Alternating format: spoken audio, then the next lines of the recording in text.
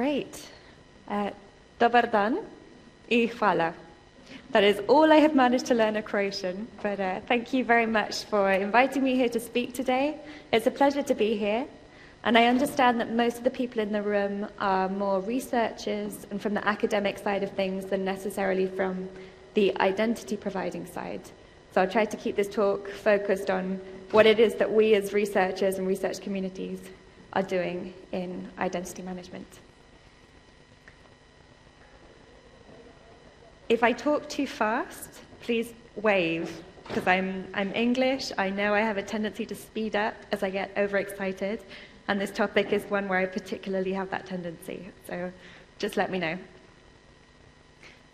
So I'm going to be talking about federated identity management for research. And the message I want you to take away at the end of this is that the key to getting federated identity management to work for our researchers is collaboration.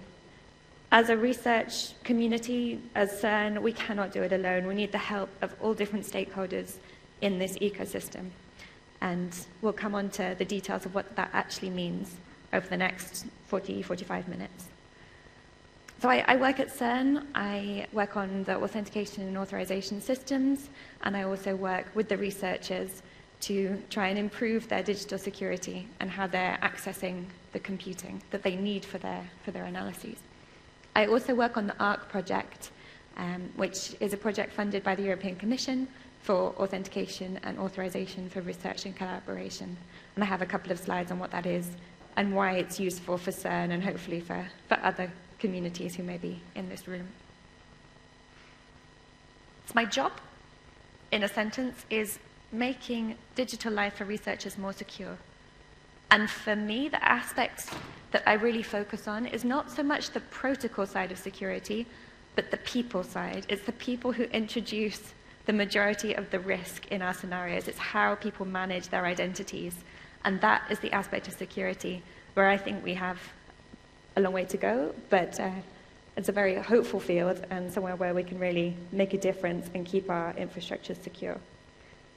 I'm based at CERN, but I do spend most of my time traveling around the world working with other people who are doing my job in different research communities. So, particularly this gang of people on the right here, who are collectively known as the FIM4R community, so Federated Identity Management for Research.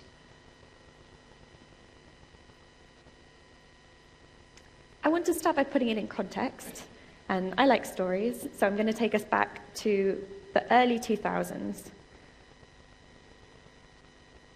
So this is the Large Hadron Collider, and it's the particle accelerator that is 100 meters underground in Geneva, well, crossing the border between Geneva and France. It's almost 27 kilometers round. And at the time, it was one of the biggest experiments and engineering projects in the world. I believe it still is, though maybe some other things have now um, passed that particular milestone. So the plan in the early 2000s was to construct this accelerator and to accelerate particles around it so that they would collide in detectors. And there would be four detectors around the accelerator. Every time particles collided, they would produce data. And that data would be sent to the data center, which was physically located in CERN in, in Switzerland for the data to be, to be stored, to be processed, and to be made available to the researchers. So I remember when I was, was studying, um, I, I, did astrophysics, as, as was said just now. It, I got to a point where I had too much data and too much code to run it on my own machine. So, of course, I then needed to use one of these shared infrastructures. And that is certainly the case with the physics that we're doing at CERN. The data sets are enormous, there is not a possibility for the scientists that we have to do it on their physical, on their local machine. And so sending out what we call jobs to the computing infrastructure is, is a fundamental part of actually getting that research to the stage of publication. So they did some calculations of how much data would be generated by these four detectors around the Large Hadron Collider and realized that they had a problem. So it's a, that's a pretty basic equation that we have here supply and demand. And they realized that demand, so the amount of computing that was needed just to process and store the data coming from the experiments, far exceeded what was actually possible at CERN.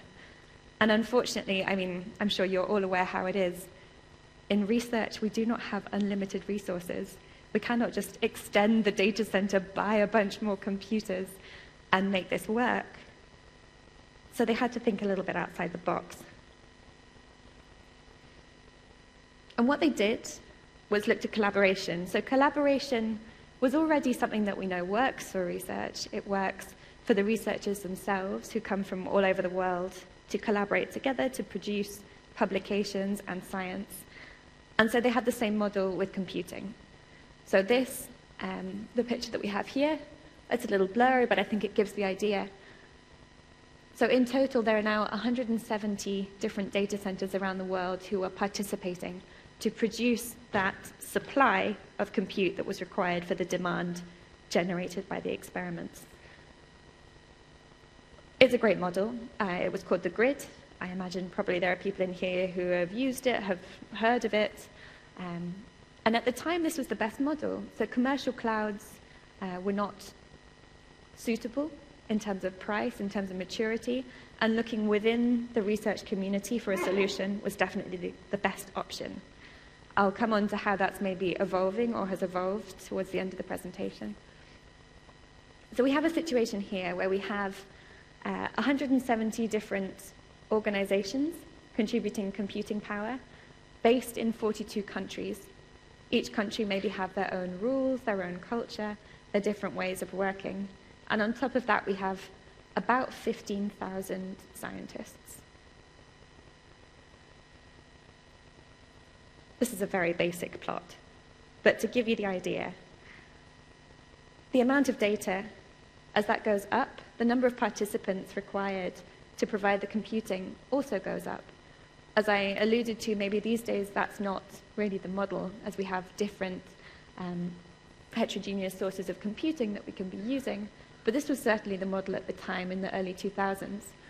So data increased, participants increased at the same time. And we see this as well in, in other research domains. So the statistics that I've pulled out here came from a paper that was published last summer by that group of people on the first slide, the FIM4R community. So pulling out the information about the number of users, the number of participating countries, and the number of participating computing sites. And it's not a direct correlation, but roughly this is the model that we have. So why am I stressing this so much? This is the challenge. So we have a large global user community, and they're working on a distributed infrastructure. They don't necessarily know each other. There may be pockets there that do, and they don't necessarily ever meet. There might not be a point where it's logical for people to go to register, to have a local account provisioned, whatever that might be, whatever this community aspect of the physical location. So the challenge is provisioning identities and how can we securely provision digital identities for those researchers who need to access that grid to do their computing that no longer works on their local laptop. So I have a question for you. I'm hoping you're, you're feeling up for some audience participation before lunch. So who knows the user best? Um, I'll go through the options and then ask you to raise your hands as we go through them once more. So who knows the user best? I'm thinking about who has really a relationship with the user, who knows maybe their address, their name, who would know if their name changes, for example. Is it the research community? Is it the infrastructure? Is it the home organization? Or is it nobody? So, okay, we'll go through again. Option A, Option B? Option C? Or option D? I'm hoping no one puts their hand up. okay, great. So this was actually um, the crux of it, really. So, yes, the home organization is the one who knows the person. They have probably a contract with them, or if not, they have a very close relationship with them. If that person changes, then they would know about it. Effectively, it's follow the money. No? They're paying the salary of this person in the majority of cases. They have that close relationship. Next question Who knows what they are working on? So, A, the research community. B, the infrastructure.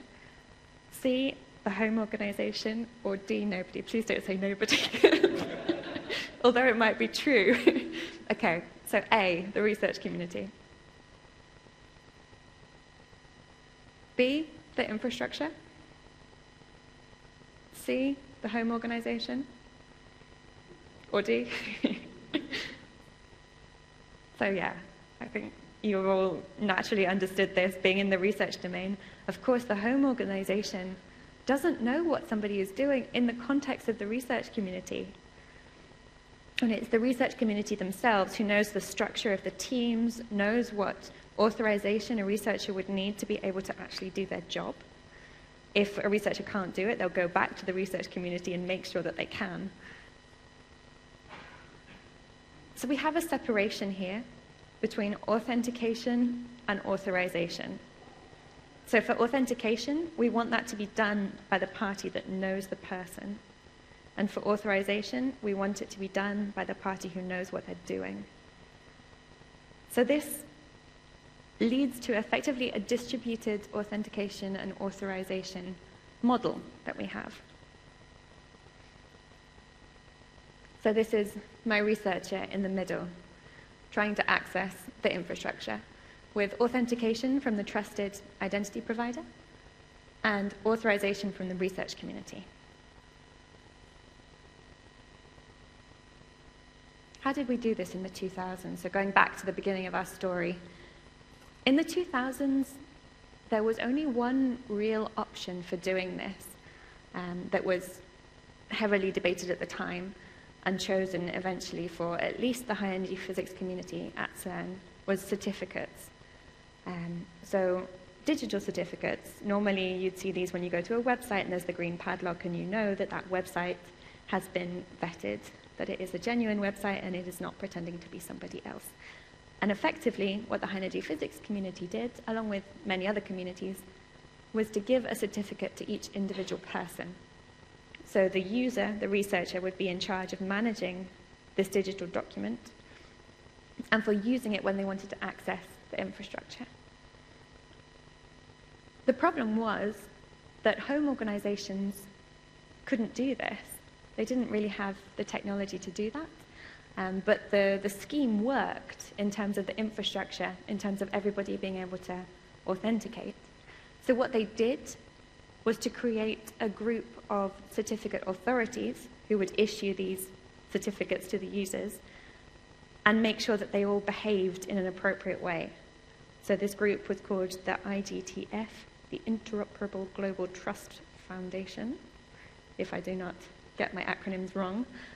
And they effectively had certificate authorities from each country, those 42 countries that we saw in the map earlier, agreeing to deploy their certificate authorities in the same way so that people could be sure that the users who had a certificate from the Croatian certificate authority had had their identity checked by that authority. So, in a way, there was a relationship between the certificate authority and the researcher.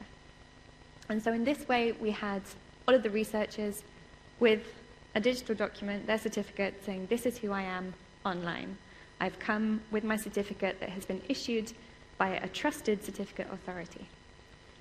But that doesn't solve the authorization case. So then we have, so at the top we have a very basic picture of a certificate, and the bottom here we have an idea of how the authorization was added to the top. And effectively, people would send their certificates to their research community who would add the authorization aspect on the top.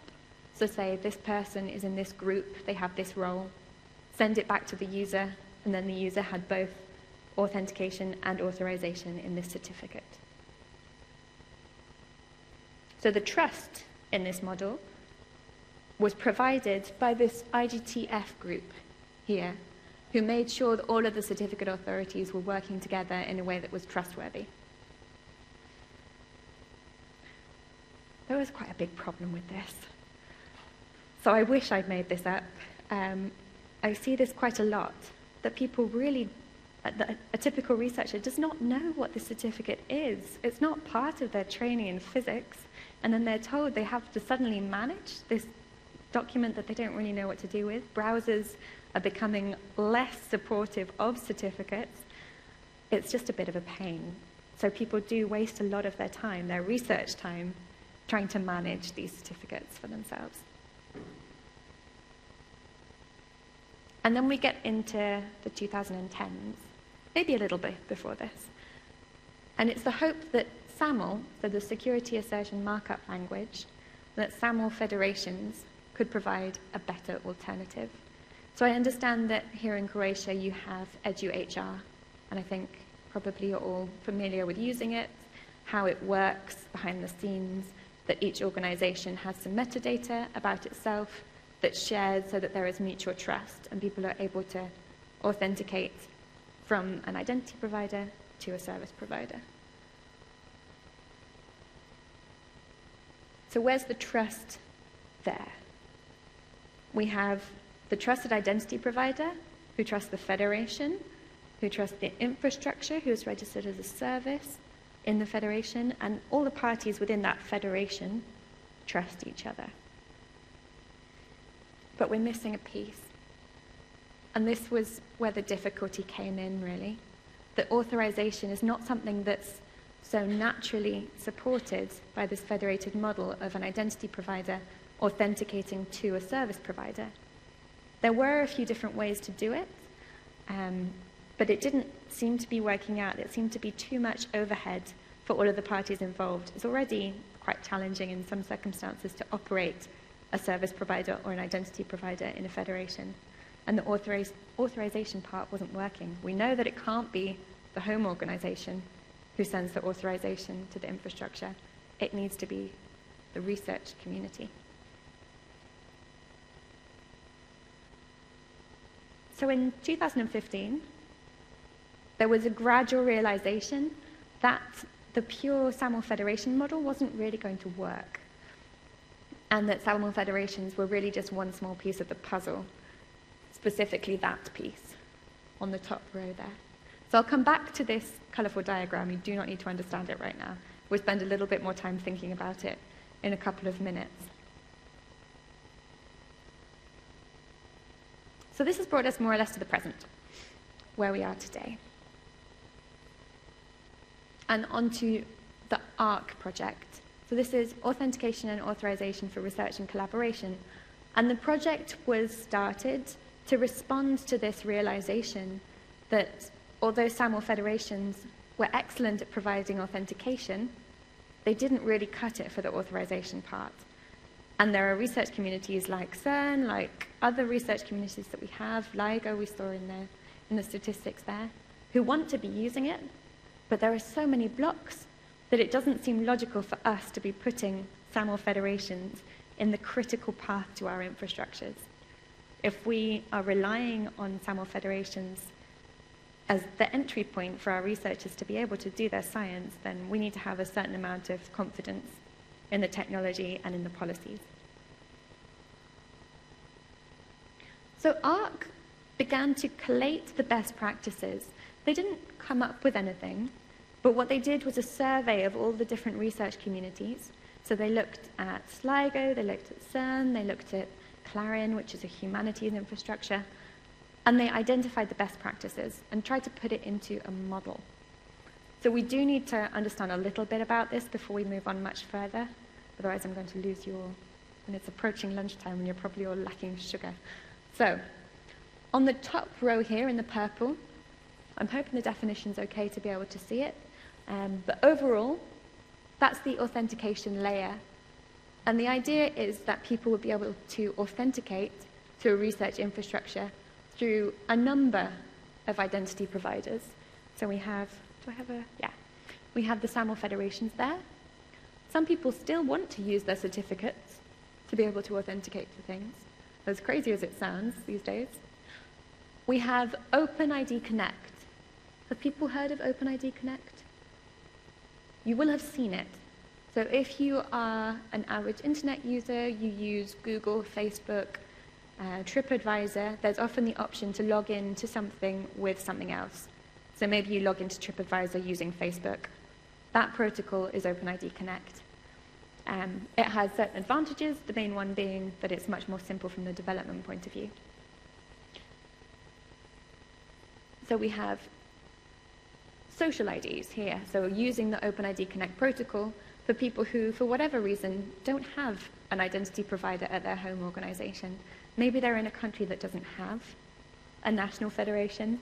Um, maybe they don't have an IT department. For whatever reason, maybe they need to be doing their science under their Google identity eGov ID or other. So the authentication layer at the top here. And a researcher would choose one of those, log in to the central part of the authentication and authorization infrastructure, uh, which is called a proxy in this model because it, it funnels the authentication, adds the authorization into the middle, and then all of the different services where the researcher would want to go are below that proxy. So it's a, a funneling mechanism in a way. We have different attributes that may need to be added. So has somebody signed an acceptable use policy for this research community? Do they know that they're not supposed to be using this for Bitcoin, for example, which is a problem that many research communities out there face? I'm sure some of you in here have that exact issue. The authorization part, and then maybe there need to be some token translation and then down at the bottom here, we have the different services that people might want to be using. So that could be a web portal, it could be a command line client where somebody would need to submit their, their job. So the job is the analysis code in, in the jargon that I'm used to at CERN. And this has many success stories, this, this architecture here. So I just want to talk about two. Um, so gwastronomy.org You've probably not heard of this, but you will have heard of the result that came out of it. And this is the collaboration hub for gravitational wave astronomy. So it was used, this platform, using exactly that model of infrastructure, was used to manage the collaboration around the August 17, 2017 Kilonova event, which led to the Nobel Prize last year, possibly two years ago. So there's, there's proof that this stuff works. Researchers were able to log in from all their different countries all over the world, collaborate together, and eventually produce a Nobel Prize. Maybe this is an extreme example, um, but it does show that using something like this is not only necessary, unfortunately, to have this fairly complex infrastructure in place to enable collaboration, but it does work. It provides an experience that users are able to manage and then able to produce their research at the end of that. The other example I want to talk about is Umbrella. And this is a group of 16 light sources. So light sources are similar to, to particle accelerators, but um, producing beams of light, which can be used to probe the interior of matter. So if you wanted to study the structure of a protein, you would book time to go to a light source you would take your sample along, you would put it at the end of the beam of light, and you could analyze that and take your data home with you.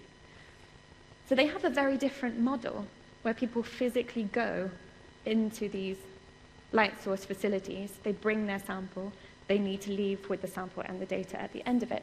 So it's much more physical in a way. They need to be authenticated not only on the web, not only on the command line, but also to the actual machines. So they needed slightly different technology, but still the technology fell into this model that we saw before, the, the blueprint that we have for authentication and authorization. And they have a steady growth rate of about 20% users per year. So is the challenge now solved? I'm going to have a sip of water. I think you probably know the answer is no. Too many rhetorical questions in these slides. Right.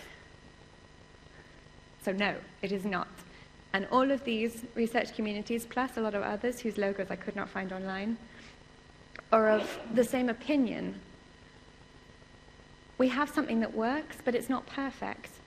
Um, there's a long way to go in terms of technology, there's a long way to go in terms of policy, and actually we would like to make that, make our requirements known to the wider community. When I say wider community, I mean the identity federations, I mean interfederations, You've probably used EduGain if you've logged into a service that's not in Croatia using EduHR, and you would have gone through EduGain, which is the international federation. There are different participants in this distributed authentication and authorization infrastructure. And by pooling all of our collective gripes and grumbles and challenges together, this group, the FIM4R group, uh, has managed to document exactly what it is that we think we need in order to put identity federation in that critical path to our services. I mentioned last summer the FIM4R community published a paper. This is the paper here. It's a very nice piece of symmetry, actually. So in, in physics, we often think about symmetry. It's a very satisfying feeling. And this paper had 40 authors, uh, 40 pages, and then sadly 41 requirements at the end of it. So uh, it would have been nice if we could cut down one of them, but no. So if you'd like to take a look, it's available online, it's open. Uh, so the idea here is that if you're in a research community and you are experiencing the same sort of things, chances are we've already captured your particular challenges and we're already petitioning the wider community to make changes to make life easier for our researchers. So do take a look if you're interested in learning a little bit more. So to go briefly through those recommendations, because up to this point it's been fairly abstract, and I would like you to get an idea of what it is that we're actually asking for as research communities. So governance and sustainability. There are lots of groups out there. So REFEDS is, um, is a group where the different national federations will talk together to discuss standards, to discuss um, policies, frameworks, whatever it might be, about national identity federations. There are other similar groups within countries. There are groups that span countries.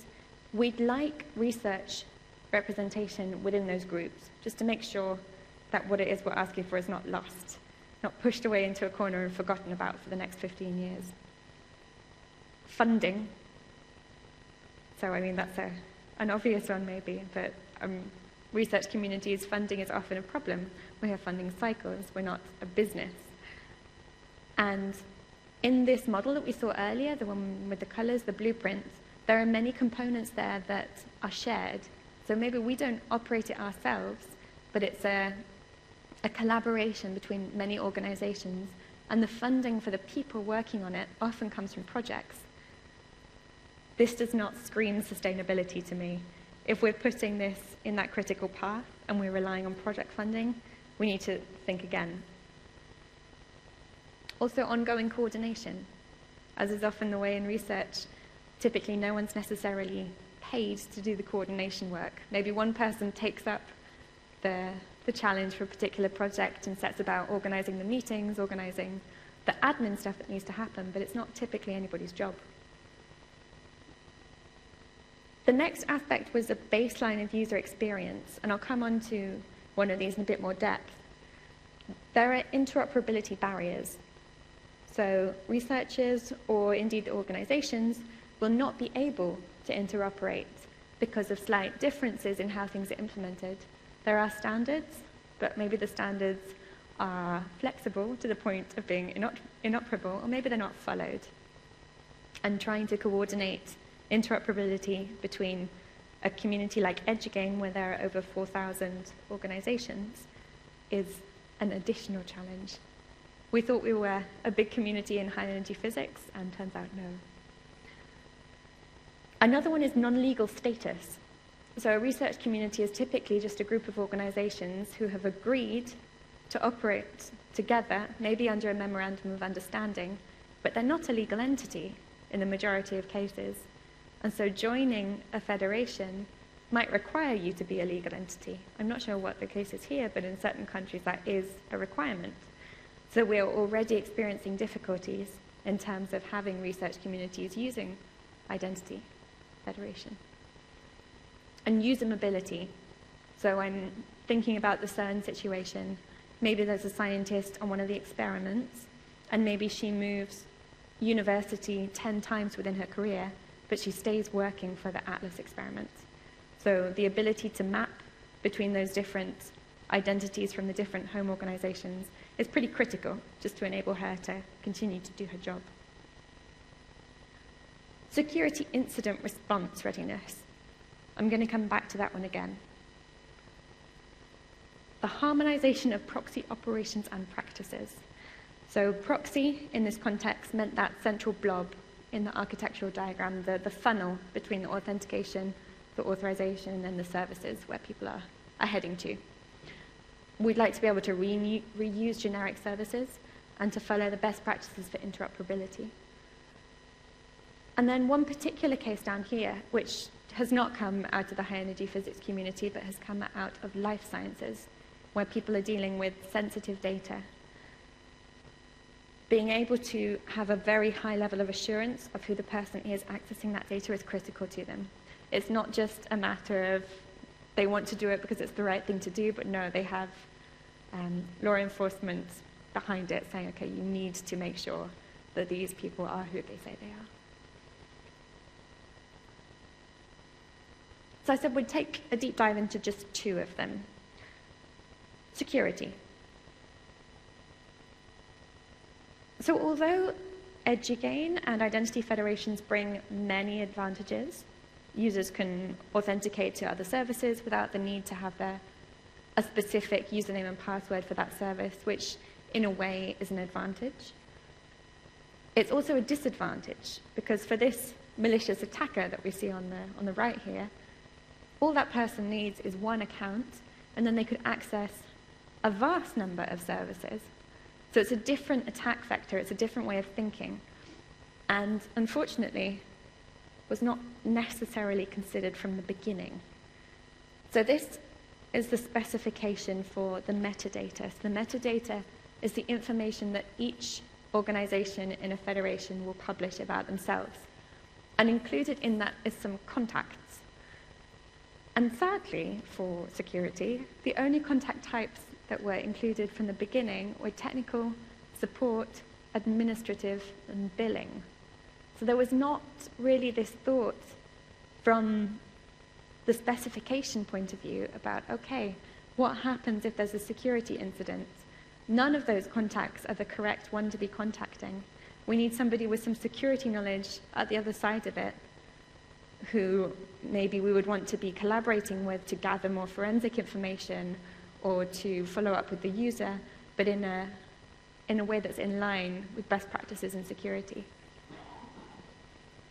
And so people have been working over the last five years to try and inject a level of security into identity federations. We're getting there, which is good, I think. And in addition, particularly for CERN, we've also, because we're used to working with these certificate authorities who have been following policies by the IGTF that we saw earlier, those security policies were very strict. We're used to a certain level of security from the identity providers that we're interacting with. And so for us, being able to know that every user who accesses our infrastructure is covered by a security incident response in their home organization is crucial. A second one attribute release. It seems kind of obvious, and it's a, the more you think about it, the more ridiculous this problem seems. So we have an identity provider who is sending an identity assertion to a research service. And really, all research services want is some kind of persistent ID. That would be great. A name and an email. We're not asking for marital status. We're not asking for birthday. It's not sensitive data. You effectively get this when you send an email. This is more or less public information, especially in research when people want their names and email addresses to be published on all of the papers that they put out there. And still, we're having this problem. In a way, I'm glad, because home organizations are not just sending personal data about their researchers out to the world. It's good that people are hesitant to do it. But at the same time, having a level of pragmatism and adopting frameworks and policies that allows this to happen is a, is a real hurdle. Because having an identity arrive at your research infrastructure with none of these is absolutely no use to anybody, unfortunately.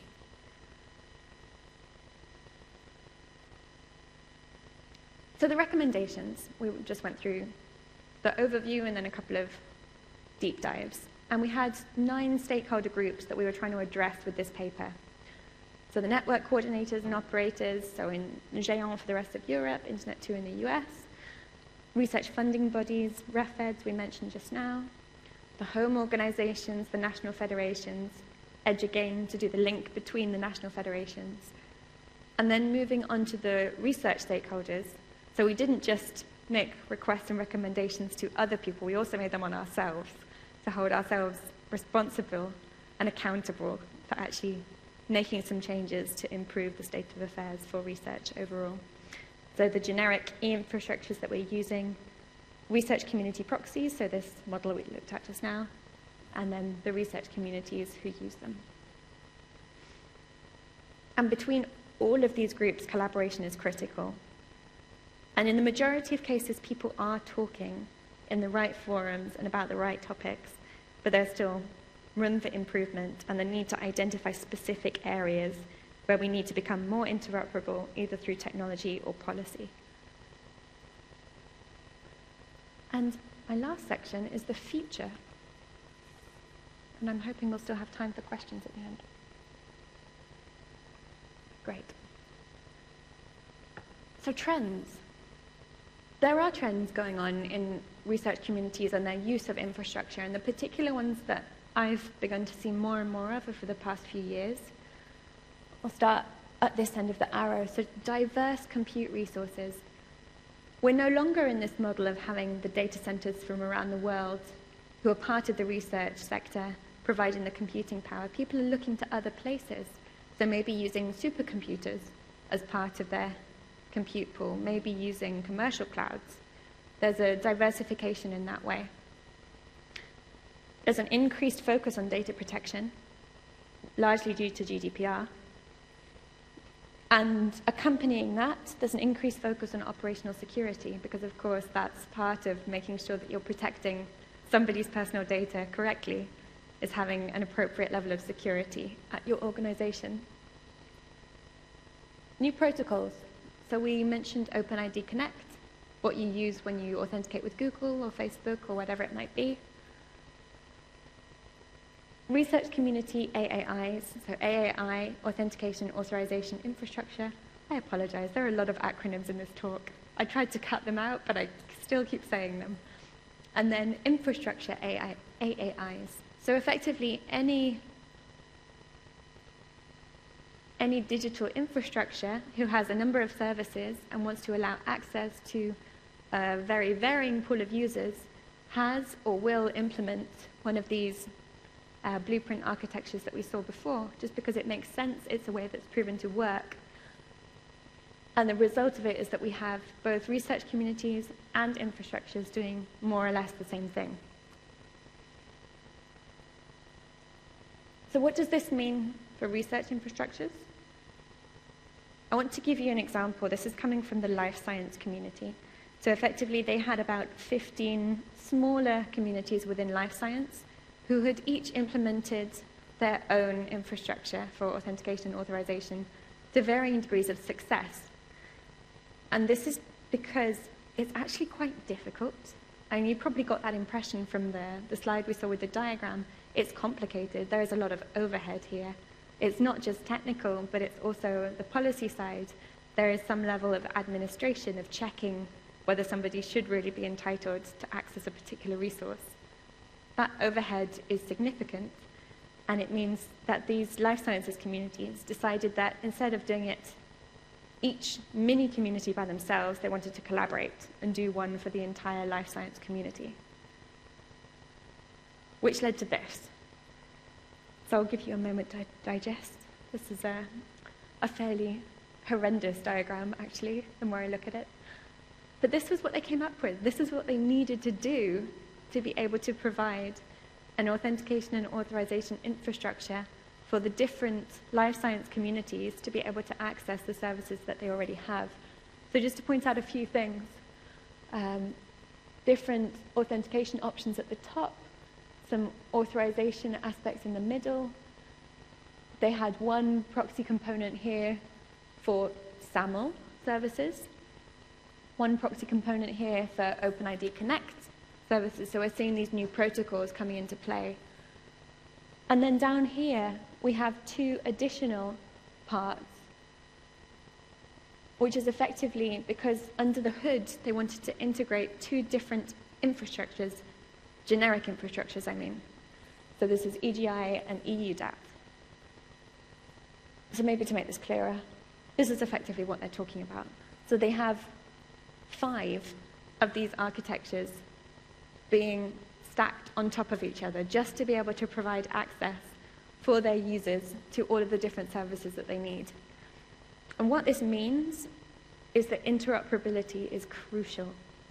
So if there is a scheme for authorization from one of these proxies that is not interoperable with the other, then it's going to fall down. The amount of overhead is not going to be worth the investment. So work on interoperability of standards of technology is crucial. Another aspect that is maybe overlooked is the policy aspect, particularly now that we have data protection taking an increasingly important uh, part in our, our digital lives. But can you imagine, from a researcher's point of view, if they need to click an acceptable use policy at all of the different interaction points in here, or if they need to view effectively one privacy notice per service. That, to my mind, is not user friendliness, and I believe it's not legal because, of course, people do not have the physical time to read these things. That would just be clicked through. And so, making sure that the policies are interoperable as well, so that by clicking once, we know that the user has really read something and that internally we are processing the data in a way that's consistent with that policy is, to my mind, one of the, the crucial parts of this. So, effectively, what this has meant is that we've added down here at the bottom, as one of the connected services, another proxy. So, in the future, this is probably how things are going to look. There will be these proxy architectures stacked on top of each other with an interoperable policy set, with an interoperable technology stack to allow researchers to do their work.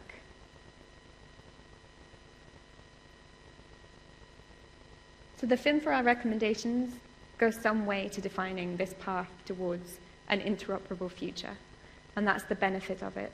So if you're in here as a research community and you're experiencing challenges, uh, speak up, tell your tell your federation and come and maybe join the FIM4R community. It would be great to have more participation. But what can you do? I have one more question. Right. So, A, what can you do? Read the FIM4R paper. B, share the paper with others. C, think of the researchers at the end of this. Or D, nothing. That's, I appreciate it's lunchtime, so you're probably all wanting to run out of the door. A, read the paper. Share with others. Think of the researchers, or nothing. And anything you could do would be great. Just keeping in mind that at the end of this, it's the scientists who shouldn't have to think about this stuff, but they're blocked because of interoperable, um, lack of interoperable policies and technologies at the end of this. And this is a nice quote that I just want to leave you with that every researcher is entitled to focus on their work and not be impeded by needless obstacles, nor required to understand anything about the federated identity management infrastructure, enabling their access to research services. So that's what we're aiming for. And in order to get there, the key is collaboration. If you'd like to find out more about FIM4R, join us or just Find more information, fim4r.org, and take a look. So I've now come to the end. Thank you very much for your attention and participation in the questions.